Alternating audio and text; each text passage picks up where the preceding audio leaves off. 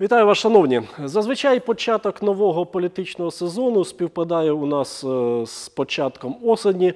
Традиційно депутати виходять з канікул, збираються в парламенті і там розпочинається. Зазвичай розпочинається щось навколо одного, двох або кількох таких найскандальніших законопроєктів або кадрових рішень.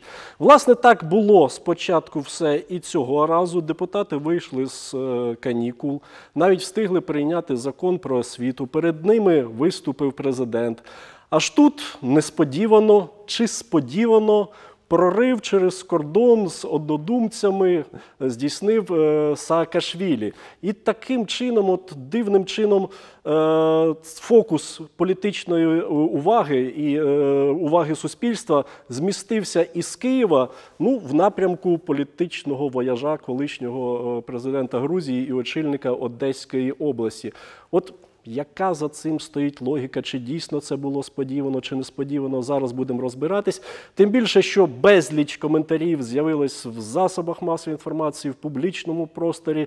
Багато хто поставився до цього з сарказмом, причому з гірким сарказмом. Хтось прийняв сторону якоїсь із сторін.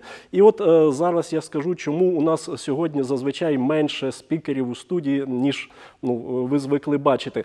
Тому що ми вирішили запросити лише тих експертів з політичних питань, ну які ну не причетні жодним чином до якоїсь е, політичних е, партій або політичних діячів, ну взагалі ніяк себе не проявляли в, е, в цьому сенсі протягом багатьох років. Таких в Дніпрі виявилось небагато. Ну і власне тих, хто є в Дніпрі, сьогодні прийшли е, до нашої студії, інші в роз'їздах. Ну, чим менше експертів, можливо, тим цікавіше буде наша розмова. Нагадаю, ми працюємо у прямому ефірі. Якщо у вас виникне бажання задати питання, висловити думку, долучитись до нашої розмови, ви зможете зробити це за телефоном, який з'явиться на ваших екранах. За кілька секунд починаємо.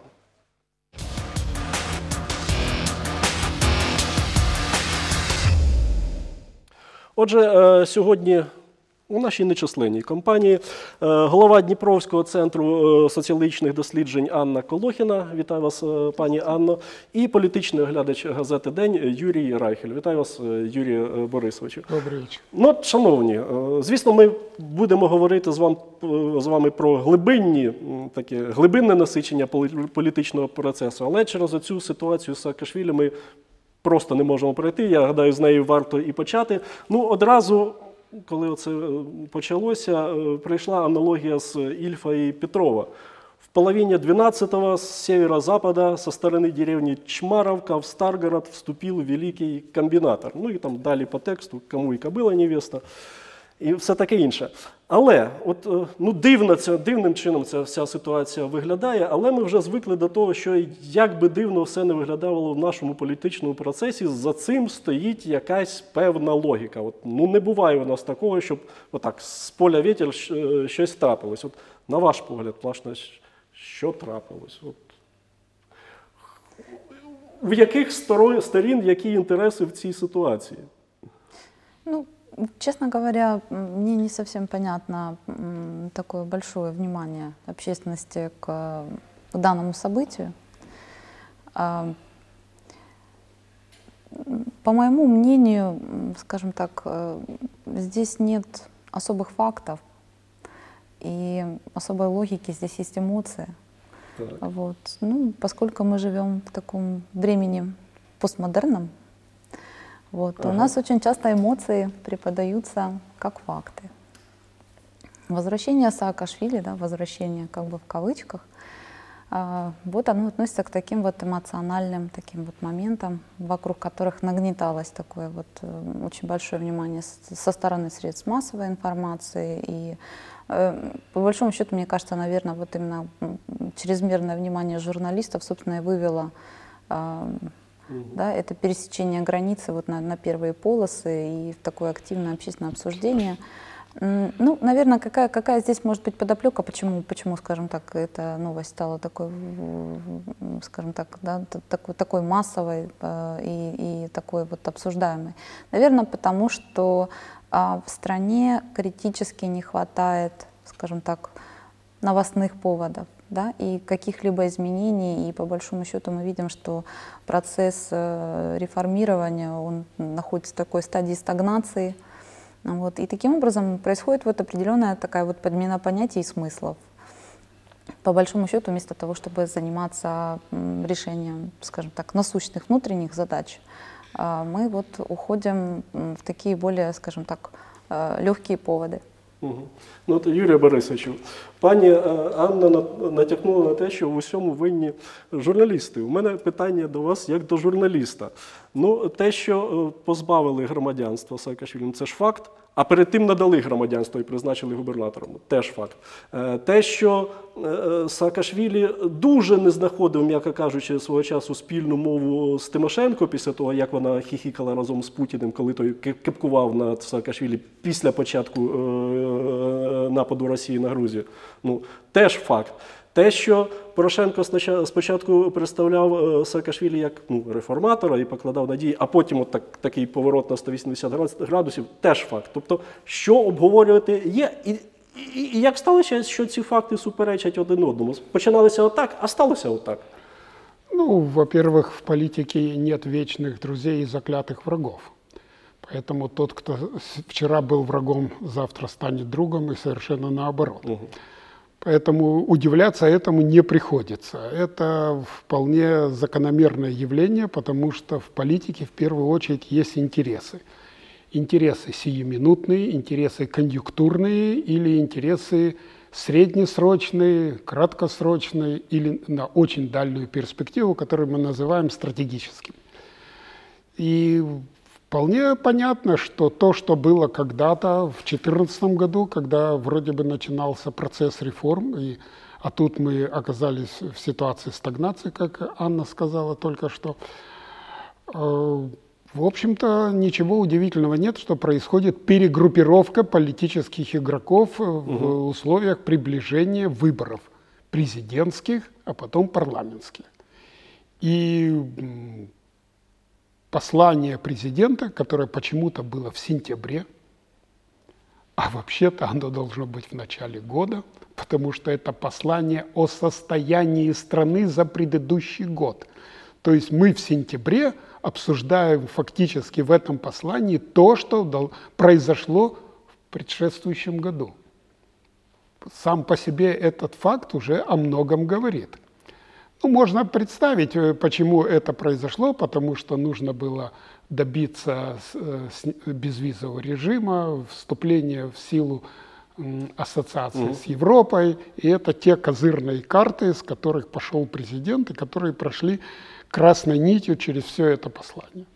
Но если возвращаться к, к Саакашвили, то вполне понятно, что когда-то Юлия Владимировна была его заклятым врагом, теперь стала ну, ближайшим другом на, какую-то, ну, на какой-то отрезок времени. Причем э, ясно, что происходит перегруппировка не только политических сил, а олигархических групп, которые усиленно начали готовиться, а выразителем которых являются те политики, о которых мы говорили и о которых мы не говорили, но которые присутствовали при так называемом прорыве границы, то вполне понятно, что уже активно началась подготовка к выборам, тем более, что совершенно очевидно, что досрочных выборов не будет, и в них не заинтересован никто, ни власть, ни президент, ни э, правящее большинство, если его можно так назвать,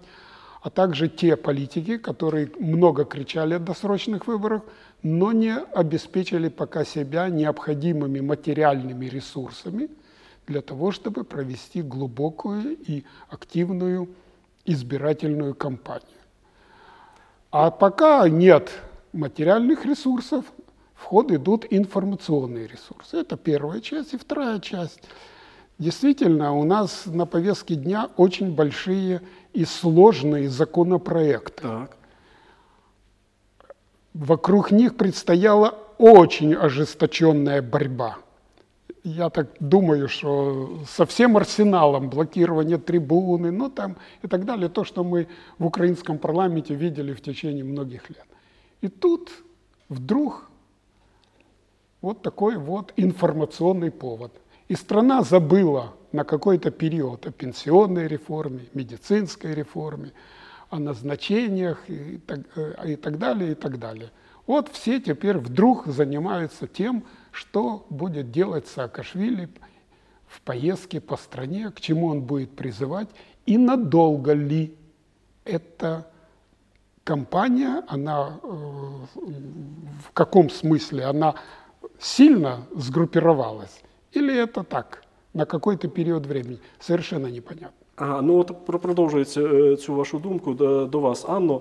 Ну, по-перше, е, продовжуючи ваш натяк і спираючись на е, слова Юрія Борисовича про те, що ну ви взагалі теж майже прямим текстом про це сказали, що у нас безліч законопроєктів на порядку денному. От, а тут такий інформаційний привід. Значить, журналісти дурачки і купілись. От, повели, відволікли таким чином е, масову свідомість. Я до чого? Са- Саакашвілі анонсував свою поїздку по країні, в тому числі і в, Дніпрі. От і до цієї думки, яку е, Юрій Борисович, надовго вистачить цього інформаційного приводу, і чи власне може він привести до якихось зрушень у масу? От приїде він сюди. І, і, і на який ґрунт ляже якийсь його меседж, яких ми, до речі, ще толком і не дуже і зрозуміли. Ну, по большому счету, что, может быть, ожидания есть некоторое в обществе каких-то новых месседжей, Мгм. да, скажем так, которые могли бы, ну, скажем так, несколько либо успокоить, либо во- воодушевить людей, да, потому что сложная экономическая ситуация, и действительно э, те изменения, которые не происходят, они тоже, скажем так, э, влияют да, на общее такое вот разочарование в массах. А, Ну, есть определенный, до сих пор есть определенный спрос на, на популизм. Мы видим, что э, и это, это, это есть и отражение как бы мирового глобализационного тренда. То есть м, к власти приходят популисты. А, И ну, все будет зависеть от того, как, как, как именно Саакашвили построит свою риторику, ну, насколько э, мы можем судить по предыдущим приездам Саакашвили в Днепр, скажем так, существенного резонанса не было. Другой вопрос, то, то что э, Юрий Борисович затронул, этот вопрос по поводу переформатирования сил, да, то есть вот что, что мы увидели, скажем, там, какая ситуация была во Львове. Мы увидели, что там были задействованы представители блока Юлии Тимошенко и сама лично Юлия Владимировна. Мы также увидели, что было определенное содействие со стороны м, Саакашвили, Самопомощи. извините, самопомощи, да, Андрея Садового. Вот, то есть э, здесь была определенная такая, скажем так, ну, продемонстрирована, наверное, и про президентскому большинству некая такая игра мускулами. А, сказать, что она на что-то критично повлияет, я думаю, что, скорее всего, это опять же идет вот с такой вот прикидкой, примеркой на следующие, вполне возможно, 2-3 года. Ну, мы понимаем, что та политическая сила, которую пытался создать Саакашвили, она, скажем так, не имеет э, существенного веса. У Тимошенко неплохой рейтинг, у самопомощи рейтинг, скажем так, меньше, ну, скажем, тоже неплох. То есть вполне возможно, э, в ближайшем времени нас и ожидают какие-то, э, скажем так, коалиции. Хотя, опять же, как бы, если мы будем говорить про БИУТ, а, практика показывает, что БИУТ э, работает только по принципу поглощения, скажем так. То есть они не готовы, я думаю, сейчас пожертвовать своим собственным брендом. Не факт, что это сделает и самопомощь.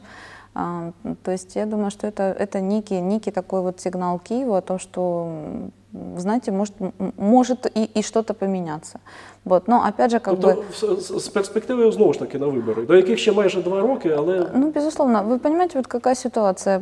Президент в своей речи не говорил о возможности досрочных выборов, но тем не менее по летом вот прозвучал ряд таких сигналов о том, что э, есть определенная, скажем, такая вот потребность даже не среди электората, а среди э, власть имущих э, в определенном таком переформатировании. То есть вот тот расклад политических сил, который сложился на сегодня, он не устраивает, вернее, скажем так, он устраивает не всех. Да, и э, то, что, опять же, в средствах массовой информации мельком прозвучало, о том, что Саакашвили встречался с Коломойским, мы понимаем, что у нас сейчас Коломойский, скажем так, один из тех олигархов, которые пребывают в опале, да, то есть э, мы понимаем, что там действительно есть определенный э, финансовый ресурс, а, который мог бы помочь, скажем так, определенным политикам ну, добиться вполне возможно каких-то результатов. Но мне кажется, что действительно все пока останется так, как оно есть. А, Парламентское большинство, ну если так можно говорить о нем, да, как о большинстве, оно в принципе как бы оно есть, оно существует, никуда оно Ну, от закон про освіту, да, більшість Скажем так, себе да, скажем, проявила. оно, оно не денется. Другой вопрос, что, ну, какие внутренние рычаги влияния, то есть мы понимаем, что а, те решения, которые, которые принимаются депутатским корпусом, они принимаются, скажем так, не по доброй воле, а с определенным таким вот внешним влиянием. Это, безусловно, а, э, нашим на- на- на- народным избранникам, э, м, скажем так, ну, не нравится. Вот, поэтому Тут нужно смотреть, как к этому подходить. То есть, ну, я не являюсь сторонницей того, что вот действительно, если что-то не получается парламента, нужно, нужно переизбрать. Ну, на самом деле ситуация не поменяется, различные социологические опросы об этом свидетельствуют. Мгм. То есть там, скажем так, ну, вполне возможно придут определенные какие-то новые личности, но кардинальных изменений э, в парламенте не наступит. Це Поэтому... якби вибори відбулись сьогодні. Безусловно. Даже если бы эти выборы э, произошли через год, э, я думаю, что тоже вряд ли бы что-то что существенно поменялось. Ситуация в чем? Есть определенный кризис, он есть, и это есть и кризис и в обществе, и это кризис, который есть среди э, представителей наших партийных элит, кризис идей, кризис новых смыслов, кризис видения и отсутствие коммуникации. При всем при том, те сложные вопросы, которые сейчас э, стоят да, и перед э, депутатским корпусом, поскольку они принимают решения, и перед обществом, на которое непосредственно будут влиять результаты э, этих депутатских э, решений, они требуют коммуникации. И вот с коммуникационной составляющей у нас очень большая проблема. Люди, которые разрабатывают законопроекты, которые продвигают их, тот же самый кабинет министров, да, то есть наше правительство, а, не могут донести свою позицию до народных избранников. У народных избранников есть какая-то альтернативная, например, э, п- альтернативные предложения, потому что мы знаем, что вдруг, оказывается, у депутатов есть альтернативный законопроект по медицине, а, да, то есть это вот э, выходит в информационное пространство очень как-то дозированно. Поэтому здесь необходимо было бы вот о- об этом думать, как, как налаживать э, эту коммуникацию, как достигать компромисса. И мне кажется, вот в этом, скажем так, будущее, не в очередных выборах. Ну, безусловно, проводить из- избирательные кампании, да, и, э, опять же, э, э, идти вот по, по верхам, да, не, не углубляясь э, в, в какие-то в какие-то вот э, тайные смыслы, да, скажем так, Ну, От ми необходимых ж изменений. зараз Это і легче, намагаємось чем... заглибитися в ці Так, таємні безусловно. смисли. А от е, Юрію Бер- Борисовичу, е, що, що, щодо вас, як до журналіста-міжнародника, зазвичай, коли в Україні щось відбувається, то е, наші західні е, партнери миттєво реагують, причому і за океаном, і е, в Європейському Союзі. Нехай це навіть якісь загальні слова про глибоку стурбованість, хоча там дуже часто закладаються певні меседжі, які е, неозброєним оком не видно. А тут, е, от що знову ж таки до ситуації з Саакашвілі, ми маємо заяву лише держдепа при е, Сполучених Штатів, причому дал- далеко не першої особи, яка сказала, ну це взагалі справи між Україною і Грузією. А інші всі промовчали. Навіть коли Саакашвілі громадянство позбавляло, і то бі- більше коментарів було. От якась я- як, як це розцінювати? Тут э, есть э, м, два, м, ну, многоплановая ситуация. Во-первых, э, на Западе не хотели бы раскачивать внутриполитическую ситуацию в Украине в условиях, когда мы входим в цикл каких-то договоренностей по Донбассу. И то, что Путин 5 сентября заявил, это первый шаг к тому, что э, процесс в- к марту, м, апрелю, может быть, к маю будущего года, он в какую-то сторону Це сдвинется. про ми- миротворців ви маєте на Да, увазі? это, то есть э, Россия в том, в том или ином виде заявила о том, что она в принципе начинает этот процесс.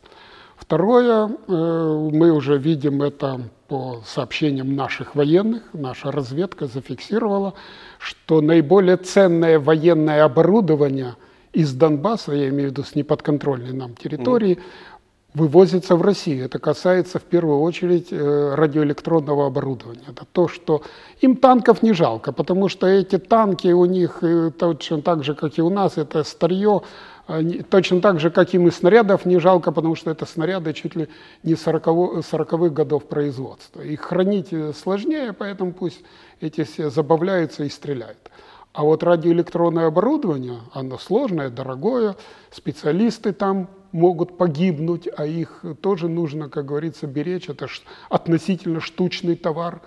И поэтому они это дело вывозят.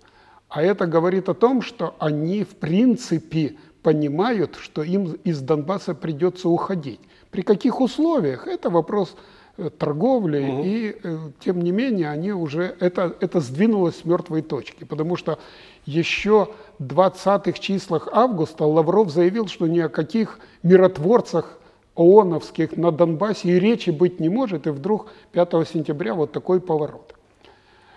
И третья ситуация, что фигуры-то неоднозначные. Юлия Владимировна на Западе имеет э, имидж человека, который может договориться с Путиным. Такого политика у власти на Западе, в Украине, а он не нужен. Поэтому к ее амбициям на Западе, я имею в виду политическим, э, относится весьма сдержанно, мягко говоря.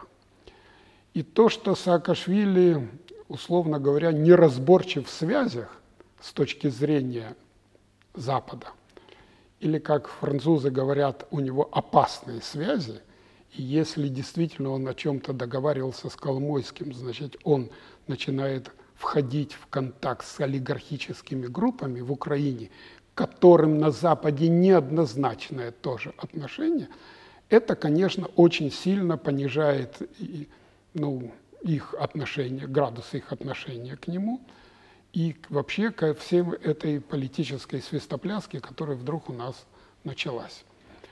И после- вторая половина. А вот в России ну просто заливаются от удовольствия, потому что вдруг они поняли, что в Украине наконец-то хунта получила внутреннюю, ну, такую вот внутреннюю напряженность, внутренние проблемы, и ее, так сказать, составные части начинают выступать против нее. И это э, решает в России вторую внутри, уже их внутриполитическую проблему. Первая это связанная с Донбассом, о которой пока она еще на поверхность там не вышла. А второе это у них же тоже начинается избирательный цикл. И Москва на вы- местных выборах показала, что она очень и очень недовольна режимом Путина. Пока это выражается в том, что она недовольна мэром Москвы Собяниным, но это же ставленник Путина, это совершенно однозначно. И, во-первых, в Москве прошли оппозиционеры в Моссовет, а во-вторых, очень напряженно складывалась ситуация в провинции, где от э, Москвы далеко, и местные ну, более наглые. В Москве много журналистов, много внимания, а там где-нибудь в Пскове или где-нибудь еще можно себе позволить то, что в Москве позволять нельзя. То есть в Москве тоже переписывали протоколы, но не в таком количестве, а в Пскове переписали 98% протоколов. Ну, естественно, там все эти скандалы и так далее. Поэтому с точки зрения российской пропаганды очень выгодно показать, ну вот видите, что приво- э, вот если голосовать за оппозицию, то вот будет так, как у них в Украине, и т- со всеми делами. Вы хотите дестабилизации, а режим Путина – это его главное, с чем он пойдет на выборы. Очевидно, в ноябре он уже заявит об этом, потому что уже администрация российского президента разослала в регионы э, требования представить списки будущих доверенных лиц Путина на выборах там, к такому-то ноября ну, там, или к концу октября. То есть совершенно понятно, что э, они тоже вступили в избирательный цикл, где главным будет стабильность. да, все, значит, пенсии повышать не будут, министр финансов уже заявил, Э, там еще что-то. и Медведев в Крыму Да, и Медведев просто сказал, и э, пенсии повышать не будут, э, расходы на э, медицину повышаться не будут, хотя это было обещано на 8%, там еще что-то не будет, поэтому вот э, в первую очередь это стабильность. Ну а стабильность, вот вам наглядный пример у Соловьева на России, на НТВ. Вот вам будут рассказывать о том, что вот все эти май- майда, майдануты, как они их называют, они перегрызлись между собой. И вот этот вот блуждающий форвард Саакашвили, его в Грузии ждет четыре уголовных дела, а в Украине там тоже на него заведут уголовное дело. Причем это сознательное искажение, там, это же административное нарушение границ. А, там, а в Москве уже пишут, что это уголовные дела и так далее. То есть мы имеем совершенно понятную в- международную реакцию. И эта международная реакция, я имею в виду с западной стороны, она не очень внушает, а должна не очень внушать оптимизма вот этому блоку, который вроде бы там сейчас складывается, Тимошенко, Садовой и другие. Потом- пот- э, потому что без западной поддержки они обречены. То есть они как-то в парламент пройдут, но это, это для них очень тяжелая ситуация. Ми ж е, знаємо, що е, підтримка або не підтримка е, західних партнерів вона в чомусь виражається. І е, інколи виражається е, достатньо жор- жорстко, Е, коли- коли звучать заяви, а за заявами вже якісь е, наслідки. Ну да, она может выражаться в том, что Там ті ж мо- кредити. это, так сказать, на государственном уровне. Есть же неофициальное давление. Некоторым нашим олигархам могут прозрачно намекнуть, куда давать деньги, а куда не давать деньги. Потому что мы это, с этим уже неоднократно сталкивались в предшествующих, предыдущих избирательных кампаниях. И в том числе и это была проблема партии регионов. А когда кто-то из наших олигархов не послушался, об этом в украинской прессе мало писали, а немецкая пресса, кстати, писала очень много в свое время, в 2012-2013 году, то были проблемы. Поэтому здесь э, очень многоплановая такая ситуация, и если не иметь э, западной поддержки, а уж кто-кто, а Юлия Владимировна и Саакашвили это понимают очень хорошо, они не зря ездили взад-вперед за океан, в Брюссель, там и в другие столицы, но в основном за океан, то, судя по тому, что писала и тогда американская пресса, а сейчас она просто молчит по этому поводу, то это не должно внушать им очень большого оптимизма. Дякую. От е, дивіться, Анно, вже щоб е, остаточно крапки розставити. Я правильно розумію, що ця ситуація з Саакашвілі, вона, е, і якщо ми говоримо, що вона відволікає і масу увагу, і тих же журналістів від якихось інших проблем, то якщо б її не було, то її б треба було вигадати. Ну, так от лягла вона в тренд. І це по-перше, а по-друге, ну знову ж таки, е, ми скільки говорили про те, що популісти, популісти, популісти вже обридли, і тут ми бачимо, що популізм набирає нового якогось дихання, і все це, власне, на, на, на, на популістських заявах і тримається. Чи, чи є якісь там все ж таки заяви, Не, ну за, это за всё- якими реальність Это простежується? все ложится просто на... п- п- Оно имеет очень хороший грунт, подоплеку, м, социально-экономическое положение. Хотя различные опросы показывают, что люди говорят о том, что это положение не изменилось, но, скажем так, в определенный момент оно катастрофически рухнуло. А, И очень тяжело жить. Да? То есть сейчас даже не то, что жить. э, Очень многие поставлены просто на колени, вот на, на грань выживания. Э, Мы видим, что, что, что у нас происходит э, с потребительскими ценами. Мы прекрасно понимаем, что впереди отопительный сезон. А, Ну, так или иначе, ну, я говорила уже в этой студии неоднократно, мы нация романтиков. И есть определенный такой общественный запрос в быстрые, мгновенные, победоносные решения. Которые вот мгновенно приведут к какому-то внезапному улучшению.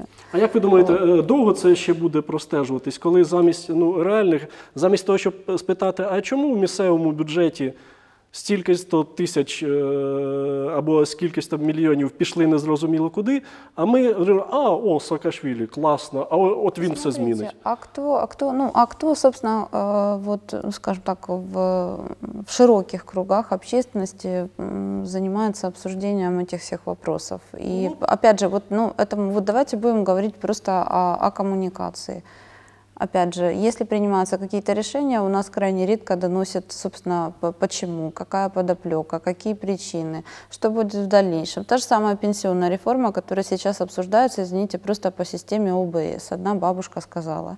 И мы не видим никаких неадекватных раскладок, не, эм, то есть что, что будет происходить э, с наполнением пенсионного фонда, да, где мы выиграем в краткосрочной перспективе, где мы выиграем в долгосрочной перспективе. Собственно, как бы на что люди должны ориентироваться ну, в своих этих жизненных обстоятельствах. Сейчас сумасшедшая ситуация, это я говорю вот по, по, по личному опыту э, в пенсионных фондах. Почему? Потому что у нас есть количество людей, да, которые, скажем так, имеют э, право вы- выхода на пенсию уже по, по, по тому законодательству, которое действует пока сейчас, да, и э, в пенсионном фонде очень большое количество людей сейчас они обращаются, там большие очереди и очень много вопросов.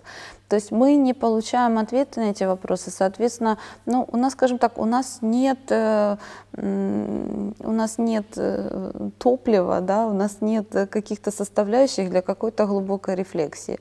Отсутствие вот этих вот фактов, оно рождает определенные домыслы, плюс это все накладывается еще на нашу эмоциональность, и поэтому вот популизм является тем самым простым выходом и простым решением.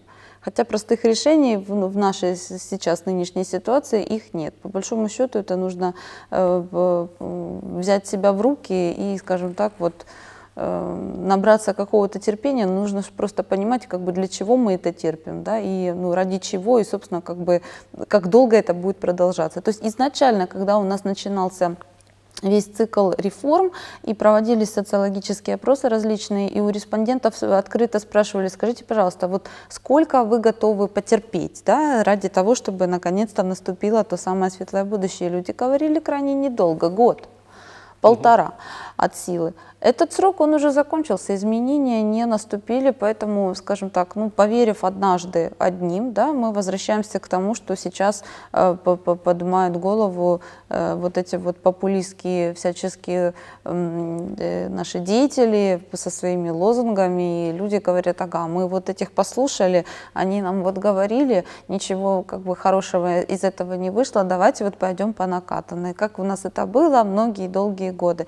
То есть так или иначе, эм, опять же, есть социологические теории, которые говорят о том, что чем ниже уровень дохода в стране вот на, э, из расчета э, количества да, ВВП на душу населения, тем больше, например, склонность э, к авторитарным режимам различным. То есть вот э, по большому счету, что Я- люди... Я, я Венес- Венесуелу згадав на Да, люди просто готовы сейчас, вот поставленные в такое положение, они готовы, грубо говоря, за корку хлеба пожертвовать э, частью каких-то своих свобод, которых они так отчаянно добивались. Потому что, ну, свободу нельзя, извините, намазать на хлеб, да, свободой нельзя накормить своих, там, той или иной свободой, А да, тем больше, нею не накормить своих користуешься. детей. А, Да, и безусловно, как бы э, есть определенные возможности, которыми ты в силу э, своего бедственного экономического положения просто не можешь воспользоваться. И поэтому вот происходит вот этот вот, э, скажем, такой вот с точки зрения, да, вот э, те- теории, может быть, наверное, несколько не, неадекватный обмен. То есть люди готовы вот так вот, вот так вот жертвовать и верить популистам. Поэтому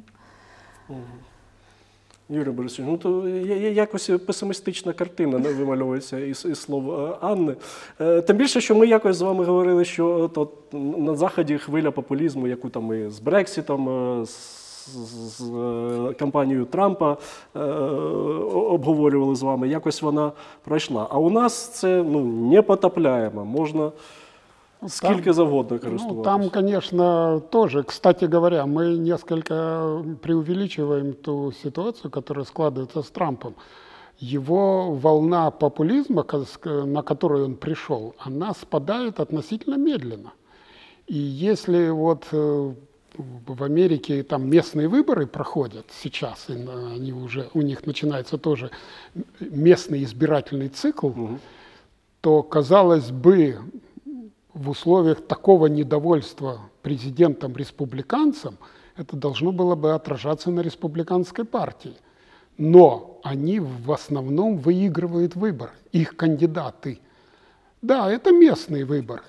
Это на уровне, как у них графство, округ, там где-то в городах, ну там в, разные, в разных штатах это разные законы, разные условия для выборов. Тем не менее, поэтому при, том, при всем при том, что, в общем-то, его такая популярность падает, но вот эта вот волна поддержки республиканской партии в условиях, когда руководство республиканской партии категорически против президента, что находит отражение в Конгрессе, тем не менее это происходит. То есть это не прямолинейный такой процесс э, там, победы популизма или отступления популизма. Это такая вот э, переменчивая такая позиция, когда определенная часть населения в Америке, где достаточно высокий, в общем-то, жизненный уровень, у подавляющего большинства населения, там, конечно, есть Ну, в сравнении с нами. да, и есть бедные, Особливо. да, и есть бедные люди. Тем не менее, э, вот э, недавно я в одной газете прочитал, что ну, мексиканцы, ну, нелегал, нелегалы из Мексики, но они очень бедные люди. Но если сравнить очень бедных людей, которые собирают апельсины в Калифорнии по сравнению с Мексикой, то они вроде бы и ничего. И поэтому поток иммигрантов из Ну да. Мексики не прекращается. И стена тут, может быть, и Ну, не поможет. смотрите, Юрий Борисович, там же есть все-таки идеологическая составляющая. Но если мы будем говорить, там сложившаяся партийная система, эм, это, это Величезна все... система балансів Безусловно, і там- рівноваги, там- яка не лише від президента И мы же залежить. понимаем, что даже если там пришел к власти президент-популист, ему просто вот эта система действительно э, баланса противовеса, она просто не даст ему, скажем так, ну, э, по- э, внедрить в жизнь да, большую часть э, то- того, о чем он говорит. То есть он может говорить, как бы, но система ему не позволит это все воплотить в жизнь. У нас ситуация, в- ну, в частности, что, собственно, как бы, может быть, наверное, еще тоже всколыхнуло вот общество, если возвращаясь вот к теме Саакашвили, это в том, что, с одной стороны, президент э, э, дал человеку гражданство, предоставил, да, вопреки там, м, скажем, определенной процедуре, да. Системі балансів То есть вот і с рівноваги. барской, с барской руки он подарил гражданство, и э, также он легко изменил свое решение и, собственно, как бы забрал это гражданство. И по большому счету, то есть это, это тоже вызывает определенное недовольство. Почему? Потому что мы видим, что, э, э, ну, что, что, собственно, как бы всегда возмущает нас, украинцев, когда у кого-то в руках сосредотачивается как можно вот большее количество власти. Мы это видели с предыдущим президентом, и сейчас это наблюдаем с нынешним президентом, и это то, что, скажем так, ну, всегда будет раздражать. У нас, к сожалению, опять же, да, то есть мы, мы не видим человека, который бы пришел во власть и начал что-то делать, скажем так, для изменения ситуации, а не пользовался этой ситуацией по максимуму для того, чтобы вот все эти недостатки, э, ну, скажем так, э, использовать только для того, чтобы упрочить свое вот э, личное положение. То есть И- это, это, это беда, это проблема, это то, что, это то, что раздражает э, в нас и представителей Запада, это то, насчет чего постоянно э, шутят э, представители недружественного нам сейчас государства Российской Федерации, да, и то есть э, это есть вот некий такой недостаток, некая незрелость этой нашей политической системы, которая, ну скажем так, она будет раздражать. В силу того, что она незрелая, мы понимаем, что у нас может произойти все, что угодно. То есть вот эти ситуации, они заставляют нас сделать вывод о том, что а завтра может быть все как-то вот совсем будет по-другому. І тут виникає И не факт, что в лучшую сторону. е, фі- фігура е, Саакашвілі, який е, в цій ситуації виглядає е, е, ким? Мучеником. От, е, і у нього прекрасна позиція. Чому, у нього там щось не склалося в, на посаді губернатора Одещини? Тому що не дали. Е, е, На, на чому випливає, до речі, роками вже наша ще одна мучениця Юлія Володимирівна, двічі прем'єр. Чому там що, чогось не було? Ну да, потому, потому что, что не не дали, дали. потому не дали что- все полноты. Ну, вы знаете, мне, вот, кстати, очень понравился аргумент, э, по- я, м, честно, не, могу, не вспомню, кем он был озвучен, по поводу того, что если действительно, да, ну в чем соль вопроса? В том, что э, у Саакашвили что было основанием для лишения его гражданства, что против него возбужден, ну, возбужден ряд э, там, уголовных, административных дел э, непосредственно да, в Грузии. И э, мне очень понравился этот аргумент по поводу того, что если действительно э, Саакашвили такой удачливый реформатор, как он себя позиционирует, он многое смог поменять в Грузии, и в том числе он очень хвалился той э, системой правоохранительной, законодательной, которая там была, да, скажем так, построена с нуля, то, собственно, чего он боится? Там справедливый суд, пусть он примет справедливое решение. То есть, ну, и плюс ко всему, ну, что, что еще, скажем так, несколько напрягает, это то, что нас пытаются, а, скажем так, втравить да, в э, конфликтную ситуацию с э, Грузией, которую мы где-то считали, скажем так, ну, явно не врагом, да, где-то где сторонницей, где-то подругой, как говорится, по несчастью. И ну, это абсолютно сейчас не нужно. Это, это не нужно п- ни нам, это не нужно ни Грузии, это не нужно никому. И ну, это просто м, один человек, э, который, м, ну, по большому счету, как бы м, очень, очень усложняет э, жизнь там, где, где она должна быть на самом деле легче. Юрій Борисович, а ви не, не прораховували от варіанти розвитку е, сьогоднішніх подій? Причому не, не лише е, Саакашвілі. Саакашвілі це ж ну, частинка е, якогось е, вел- великого е, руху ну, і політичного, який простежується в Україні, і своїми тенденціями, і своїми вже закономірностями. Чи не виходимо ми на якийсь на новий виток, який повторює те, що вже було, і те, що нам вже не подобалось? Ну, тут, конечно же, в первую очередь м, обострение э, кризиса, который, о котором вот Анна говорила, э, экономического и политического кризиса, оно, конечно, связано с тем, что э, реформы в Украине э, проводились не реформаторски. Э, Мы сейчас не можем сказать, что было бы, если бы там Саакашвили до чего-то бы дошел в Одесской области, там мешали ему, не мешали, но невозможно же реформировать Одесскую область и не реформировать всю Украину. Поэтому вопрос в том, что вся ситуация заключается в том, что реформы были намечены, но практически не проводились. И надо сказать, тут есть еще одно обстоятельство, о котором э, президент, так сказать, э, пунктиром прошелся в своем выступлении последнем. Он, конечно, очень радовался, что 1 сентября вступила в действие ассоциация с Европейским Союзом. Но он, это только первая часть, но он же не сказал о второй части, что теперь будет установлен календарный план выполнения украинских реформ. И украинская власть в широком смысле, и президентская ее ветви, и э, правительство, и парламент в том числе, кстати говоря, они будут связаны определенными обязательствами перед Европейским Союзом. Це оті 900 з чимось сторінок, е, Да. які є е, Нет, додатком это до все гораздо больше. Это только описано на 900 страницах, а там есть еще гораздо-гораздо больше. И здесь власть попа- может попасть в ловушку, которую она сама себе устроила, вроде бы двигаясь в Европу. Потому что движение в Европу, это же ведь не- это только просто говорить о том, что мы двигаемся в Европу, это такой же популизм, как и с другой стороны. А вот начать выполнять то, что э, были приняты обязательства, это уже совсем другое дело. И вот здесь очень большие проблемы возникают, потому что это ведет к обострению внутриполитической обстановки в стране. Это э, любые реформы, они на первом этапе всегда носят, вносят некоторый дисбаланс во власть. Любую реформу возьмите. Ну вот самый простой пример, вот то, что принято, э, там образовательная реформа.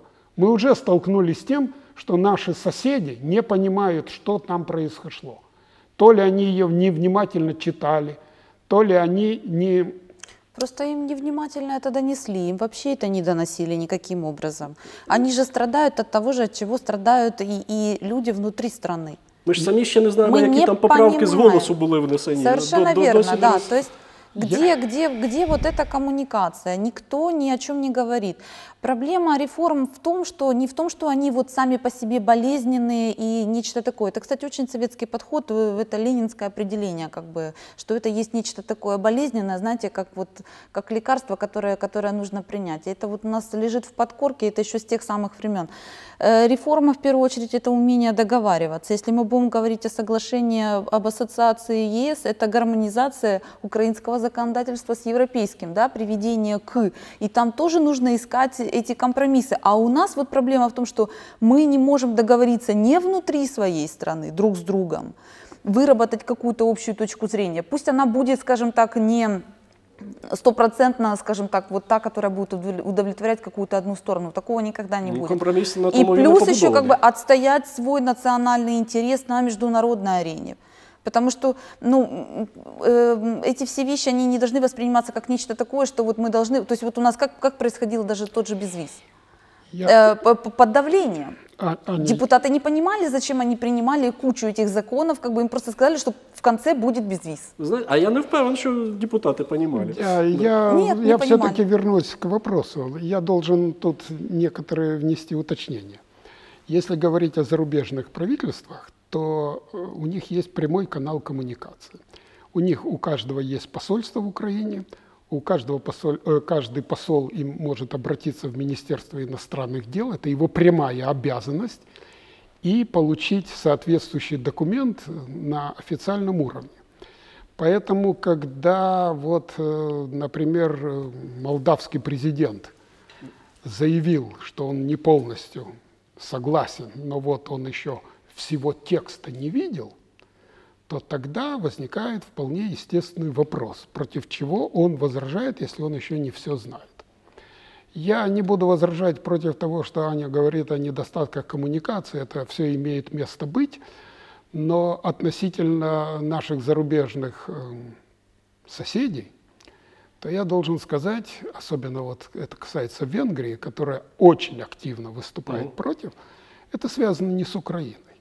Это связано с э, внутриполитической ситуацией в Венгрии, где тоже приближаются выборы, а, а правящая партия не очень уверена в, своем, в своей будущей победе. И взять под защиту там, 120 тысяч венгров, которые живут в нашем Закарпатье, это, как говорится, очень выигрышный ход, и он всегда в Венгрии, кстати говоря, в каждом избирательном венгерском цикле эта карта так или иначе поднималась. Поэтому вопрос тут, э, вот мы не очень ясно понимаем, к чему приведет эта реформа. Мы не понимаем, сколько она будет стоить не в будущем году, а во в своем развитии, потому что это же ведь э, касается людей минимум на 10-15 лет. Это образовательная реформа. Это же, это же не просто так, это человеческие судьбы. Тому що ж там кроки до 2020 Да, року розписані. более того, эта система образования, как она будет состыкована с высшим образованием, это ведь э, разные вещи. Третий вопрос. Это э, реформа образования, а как она состыкована с законом о языке, который сейчас становится предметом популистских измышлений. Мы же уже ж мы видим, э, какие политические группы, в том числе и явно пророссийского направления, начинают спекулировать на этой почве, хотя если внимательно прочитать это и обратиться к опыту европейских стран, у которых такая же проблема с многонациональностью, вот, э, та же Финляндия, например, со шведским меньшинством и так далее, то там все совсем не так однозначно, и наш закон не очень сильно отличается от э, принятых в Европе стандартах.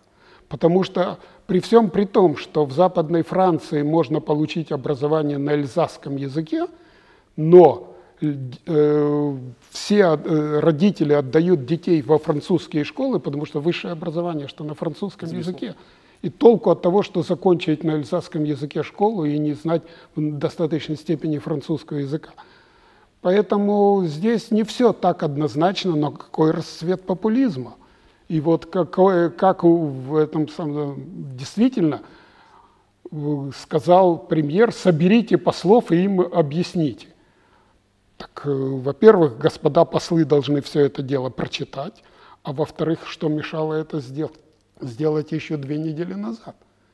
И точно так же созвать послов и сказать, что вот правительство внесло вот такой вот документ.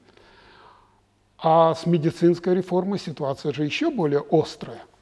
И там проблемы тоже не меньше. Я уже о пенсионной не говорю, кстати, как и о других реформах. И последнее я хотел бы сказать, любая реформа, которая меняет сложившуюся ситуацию на определенный дисбаланс, обязательно вносит. Потому что Известно. нужно перейти от старого к новому, І будуть незадоволені. да, а в математике и физике это называется неустановившийся процесс. И вот в этом неустановившемся процессе всегда возможны так называемые флуктуации, о которых нужно подумать, выбросы и сложности. И об этом нужно думать заранее. И для этого нужно готовить материальные, финансовые и другие ресурсы для того, чтобы сложности погасить. Ну а, конечно, когда все принимается с голоса, когда реформа, та же образование, 20 раз собирался комитет. Но извините, а где общественное обсуждение? Ведь это же невозможно, чтобы где-нибудь во Франции или в Бельгии приняли такую реформу. Это же знаковая реформа на многие годы. И чтобы это не обсуждалось на широком, да там тысячи этих э, было бы совещаний, разъяснений и так далее. Ну, у нас е, вони начебто теж були, і навіть спеціальний сайт Міністерства е, освіти для цього зробило. Але ну таке, е, доки що ми тексту закону все одно не знаємо повного, як, як не знали е, на, на момент його прийняття. Шановні, я щиро вам вдячний за е, розмову. Чесно кажучи, висновки не надто втішні, але будемо сподіватися, що от в результаті таких розмов ті, хто якось ведуться на оці популістські лозунги, ну, можливо, якось будуть розуміти все більше і більше, і ставати їх буде все менше і менше, на що ми, власне, і розраховуємо. Дякую вам, шановні. Отже, на завершення, коли все ж таки слухаєте наших політиків, роз, спробуйте зрозуміти, про що вони конкретно говорять. А коли вони починають конкретно говорити щось на кшалт мужчинам, женщин е, і зарплату всім по тисячі доларів, ну, звучить це як конкретно, але насправді це відвертий популізм. На все добре, побачимось.